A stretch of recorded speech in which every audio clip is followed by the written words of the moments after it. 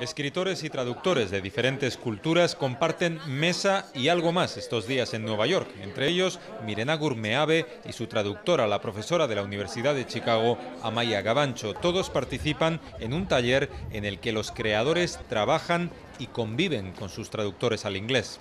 Nire konfiantza Amaiaren lanean oso osokoa da, segaitxik, neure unibertso literarioa konpartitzen dagoelako, Universos literarios de lugares tan distantes como Bulgaria, México o Siria conviven aquí con el euskera. Geu korronte bat gara e, literatura munduan.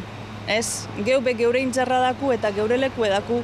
Compartimos estrategias, por ejemplo, para representar la violencia, ¿no? Lo que de pronto yo puedo escuchar a alguien del País Vasco o, o, o decir y hablar de, de cómo representar la violencia, de cómo cómo esos temas terminan modificando el lenguaje con el que escribes. Meave y Gabancho recorrerán después diferentes centros vascos de Estados Unidos para presentar juntas Cristales Kobegibat, que el año que viene se publicará en inglés.